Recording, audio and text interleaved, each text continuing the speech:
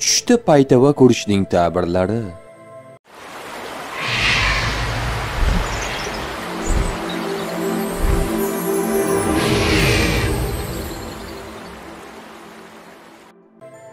Ibn sirinning ta'kidlashicha tushda paytava agar bir yerga tashlab qo'yilgan holda ko'rsa mol bo'ladi. Agar oyoqqa o'ralgan holda ko'rsa safar bo'ladi. Agar o'z paytavasini sotganini yoki birovga hadya qilganini ko'rsa molu davlatini yo'qotishga ishoradir.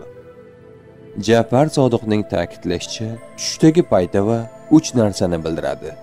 Molni safarni. Agar oyog'iga paytava o'rab tanho biyobonda azma safar qilayotganini ko'rsa o'limni bildiradi. Tush ta'biri bashorat emas barcha narsani bilguvchi yagona zot Allohdir.